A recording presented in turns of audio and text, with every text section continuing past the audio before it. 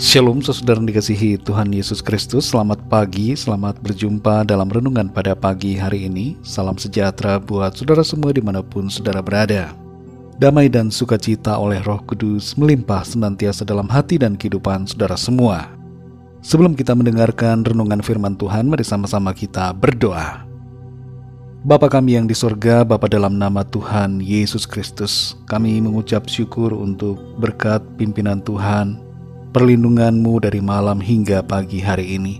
Terima kasih buat kesehatan, kekuatan, dan berkat kebaikanmu. Kami boleh hidup hari ini. Kami percaya ada maksud Tuhan yang baik, rencana Tuhan yang indah bagi kami. Saat ini kami mau mendengarkan sabda firman-Mu, urapi setiap kami dan berikan kami hati yang mengerti pada kehendak-Mu. Dalam nama Tuhan Yesus kami berdoa. Haleluya. Amin. Saudara dikasih Tuhan, pembacaan Alkitab kita pada saat ini terdapat dalam Injil Lukas pasal yang pertama. Saudara dapat membacanya secara pribadi setelah mendengarkan renungan ini. Saya akan membaca Lukas pasal yang pertama ayat 18 sampai 20. Tertulis demikian. Lalu kata Zakaria kepada malaikat itu, "Bagaimanakah aku tahu bahwa hal ini akan terjadi? Sebab aku sudah tua dan istriku sudah lanjut umurnya." Jawab malaikat itu kepadanya, Akulah Gabriel yang melayani Allah, dan aku telah diutus untuk berbicara dengan engkau dan untuk menyampaikan kabar baik ini kepadamu. Sesungguhnya engkau akan menjadi bisu dan tidak dapat berkata-kata sampai kepada hari di mana semuanya ini terjadi, karena engkau tidak percaya akan perkataanku yang akan nyata kebenarannya pada waktunya. Saudara dikasih Tuhan, Sakaria dan Elizabeth adalah sepasang suami istri yang hidup benar di hadapan Tuhan. Mereka melayani Tuhan di bait suci Yerusalem. Keduanya adalah keturunan imam yang berasal dari garis keturunan Harun. Sekalipun keduanya hidup benar, tapi mereka tidak mempunyai anak karena Elizabeth mandul.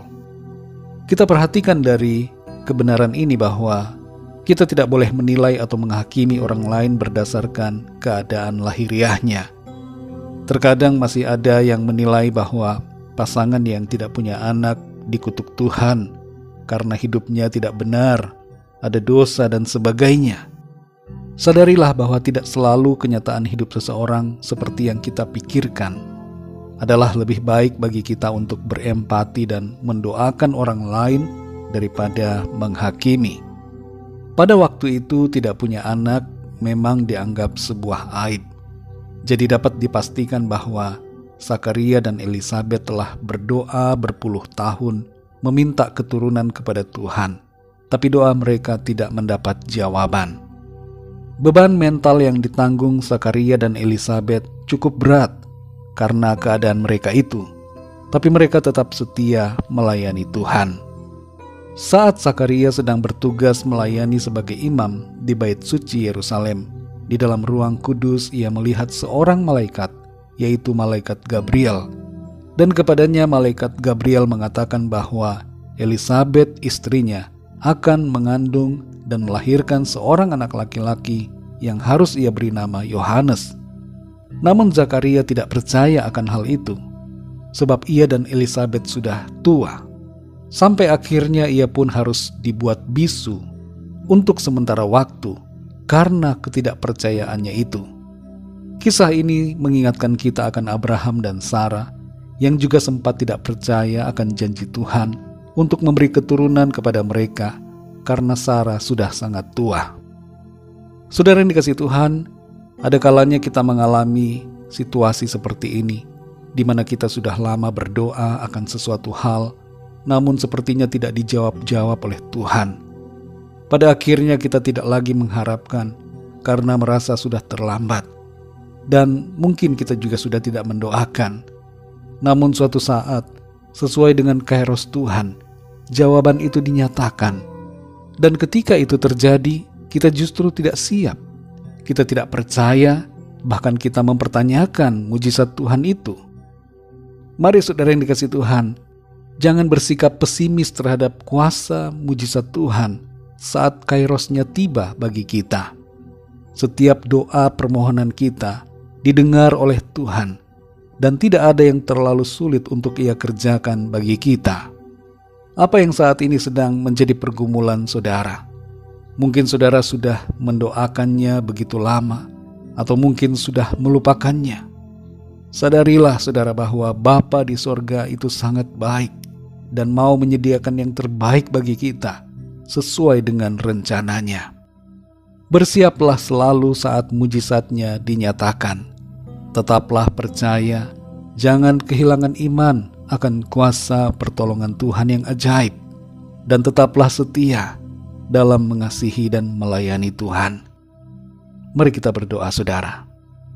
Bapa kami yang di sorga, Bapa dalam nama Tuhan Yesus Kristus, kami bersyukur untuk firman-Mu yang sudah kami dengar pada saat ini, mengajarkan kepada kami, untuk kami tidak kehilangan iman, kepercayaan, akan kuasa, mujizat, dan pertolongan Tuhan dalam hidup kami.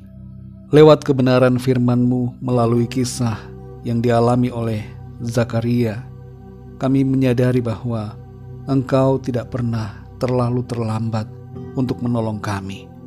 Dan Tuhan selalu mendengar setiap doa permohonan kami.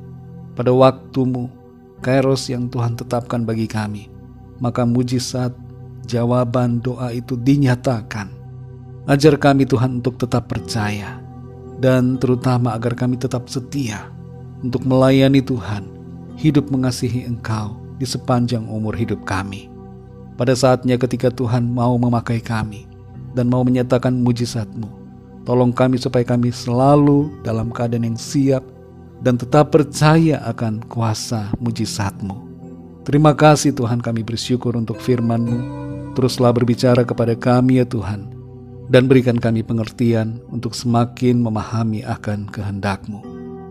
Berkati kami di sepanjang hari ini dalam segala tugas, pekerjaan, tanggung jawab kami, studi, dan semua yang kami lakukan. Biarlah semuanya itu memuliakan nama Tuhan, dan Tuhan buat berhasil serta menjadikan hidup kami berkat dan terang bagi orang-orang di sekitar kami.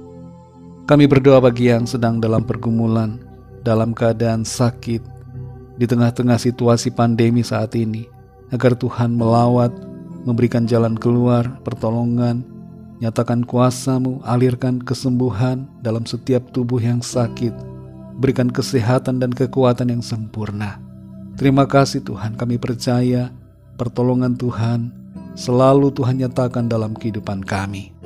Pulihkanlah ya Tuhan keadaan dunia saat ini, lalukanlah pandemi yang ada, dan biarlah semua keadaan kembali menjadi baik, dipulihkan Tuhan.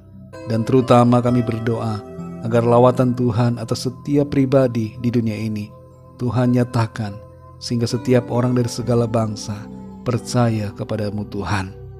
Terima kasih Bapa, hanya dalam nama Tuhan Yesus Kristus, Tuhan dan Juru Selamat kami, kami sudah berdoa dan mengucap syukur. Haleluya. Mari sama-sama kita berdoa doa Bapa kami.